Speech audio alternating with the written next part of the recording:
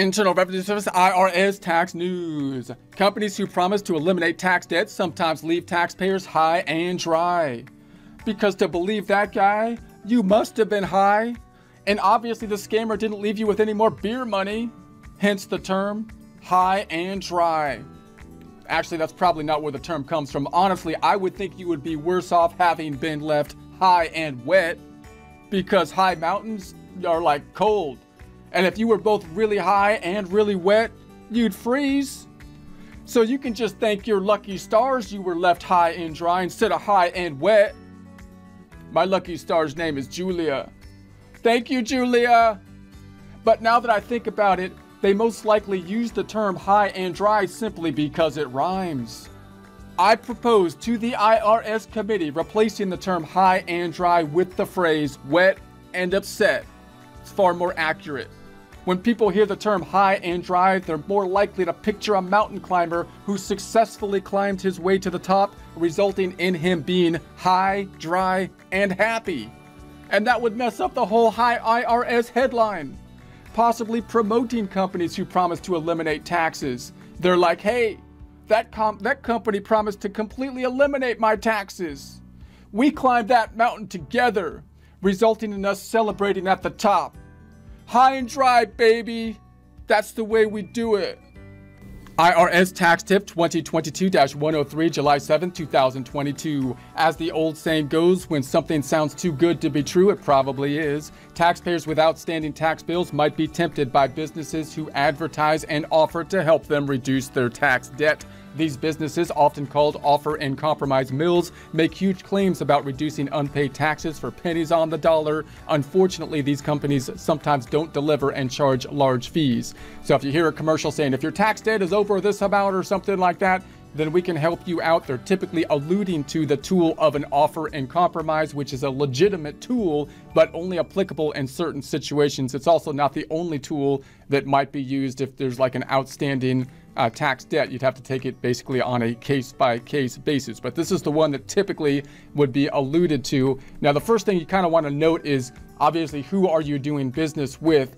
And that can be hard to tell when you look at like a commercial, for example, because that commercial might just be an advertising company that is generating leads and then is going to be selling those leads to various firms. So the person that you're actually contacting then might not be an actual the actual company that's going to be working on your offer and compromise. And if they're a large advertising firm, they're probably going to take a big chunk of profit in that and just in that kind of part of the transaction too, which could lead to basically higher fees for it. So you want to know uh, who you're who you're working with. You'd like to be working with your CPA firm if you could, although a lot of CPA firms and tax preparers may not, you know, specialize in the offer and compromise, but they might be able to recommend you to someone directly instead of going through like a like an advertising lead generating kind of process, which would be more likely, you would think, to increase the fees. Also note that this offer and compromise is laid out pretty explicitly on the IRS website.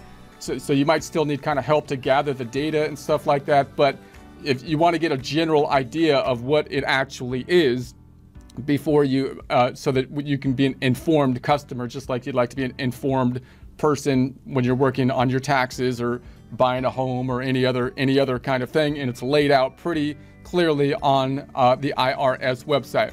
So an offer and compromise with the IRS can help some taxpayers who can't pay their tax bill. So if someone has a big tax bill and they're thinking about this offer and compromise, they can click here and they can they can see what it entails. Note that the basic fundamentals of it would be that it has to be a situation where where both the person who's owed the money and the person who owes the money are both better off. Meaning the IRS has to kind of you can imagine them needing to be better off in the offer and compromise. How could the IRS possibly be better off by lowering your tax debt? Well if they determine that you there's no possible way that you're going to pay it. I mean if you if you owe like $30000 and you're you're no longer working you're retired you know and and basically your life expectancy is not that long for example you might be in a situation where the irs it would be more likely or more advantageous to them to basically lower the tax at that point in time, right? Because they don't expect to be paid. So you can imagine what they would want to, in order to prove that, they would want personal financial statements. They would want to know what's your balance sheet, what's your income statement, give me your bank account statement, for example. Let's see your last transactions. What are your monthly expenses? If you're living uh, in a really expensive house and you have are driving around a hundred thousand dollar car or something like that, it's less, it's a lot less likely the IRS is going to say, "Oh yeah, you des- you know, you deserve us to eliminate this tax debt that is here because you could probably pay it if you really wanted to, right? It's gonna, it, that's the kind of thing that you would imagine an offer and compromise to be.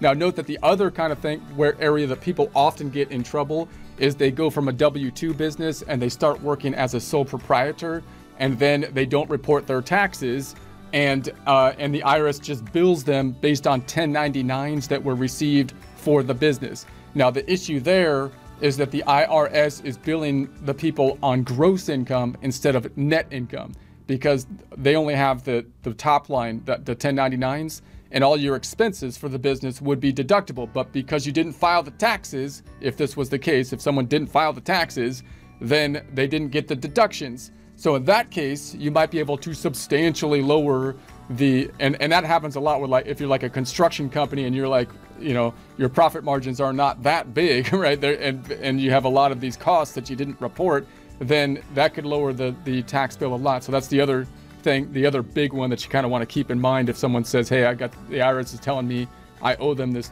ton of money. Well you know what's the structure? Is it a business structure? Did you not file? Is it did you have deductions that you didn't take and then and then if that's the case then you can go into the offer and compromise. Okay so in an offer and compromise is an agreement between a taxpayer and the irs that settles a tax debt for less than the full amount owed. So the offer program gives eligible taxpayers a path toward paying off their debt when they otherwise couldn't or would face financial hardship. The OIC offer and compromise mills that are dishonest take advantage of taxpayers' lack of knowledge to make a quick buck the OIC mills urge people to hire their company to file an OIC application, even though the taxpayer won't qualify. So notice you should be able to get a pretty good idea if someone would qualify for an offer and compromise. You know, you know, from a from a few questions, right? You know, how, what's the nature of your tax debt, and uh, and then and then what's the nature of your current financial position, right? If you're driving around a hundred thousand dollar car, if you've got a lot of assets, if your income is fairly steady and you could pay off the debt, but you but you're not, then then it's less likely that you that they're going to take the offer and compromise. You could still file for one. So the IRS is basically saying here that they're getting people firing filing offer and compromises that clearly have no uh, no ability to to go through. And what happens is then they collect money, they file the offer and compromise the IRS then rejects it. That whole process could take months, you know, could take a long time for that to go through. And so they just, so they'll just kind of keep you on the hook until it doesn't, and finally it doesn't go through. And what you end up getting at the end of the day is just going to be a, a payment plan that's going to be set up, which, which, you know, that's fine if that's all you can do, but you, you that, you could you know, you, you could have done that at a lot of cheaper cost if, if you could have determined that you didn't need, you wouldn't be qualified for an offer and compromise up front. So they often charge big fees to prepare applications that they know the IRS will deny. This unfair practice wastes taxpayers' time and money. Taxpayers who do qualify for an OIC can get the same deal working directly with the IRS without the extra fee. So it is kind of complicated to do an offer and compromise, but you know, if you want to put in the time and look at it, I would at least look at it to get an idea of it. Go to your CPA that you trust and and possibly get help and guidance there. But they got it pretty laid out, so you can you can do it on your own if you want. The OIC mills that are dishonest are a problem all year long but they step up their advertising after the filing season ends when taxpayers are trying to resolve their tax issues. So here's what taxpayers considering an OIC should know. Individual taxpayers can use the IRS's official I'm sorry, offer and compromise pre-qualifier tool. There's a link to that here so you can check it out to see if they are eligible. When a taxpayer is ready to apply, they can watch the OIC video playlist. There's a link to that here that will lead them through the steps and forms to calculate an, applic- an appropriate offer based on their assets, income, expenses, future earnings potential. So you're basically trying to say, hey, look, I can't pay the debt uh, be, based on my financial conditions, I'm, i would like to lower it, and that's kind of the offer, right? So now you're saying, could you lower it, and they're, they're going to approve it or not approve it. So taxpayers can make an offer based on their true ab- ability to pay. Applying does not guarantee that an IRS will accept the taxpayer's offer.